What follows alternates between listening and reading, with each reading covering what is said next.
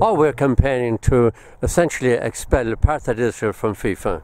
In short, that's what we want to do. On the 16th of July, we'll have the uh, 40th anniversary of the expulsion of South African apartheid from FIFA, and we want to do the very same thing because expelling South Africa from FIFA was um, heralded at the beginning of the end of apartheid in South Africa. We want to do the same thing to Israeli apartheid.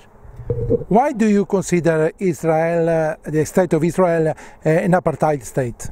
Well, because it enforces um, different levels of um, business uh, with regard to the Palestinian people. They abuse and betray them, shoot them, kill them.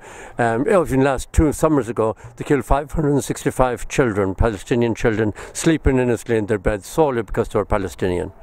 So that I mean, apartheid is the worst manifestation of racism, and that is what manifestation or manifest racism It is very, very worse when they killing innocent children who have never hurt anybody, sleeping in their beds. 565 is an appalling crime.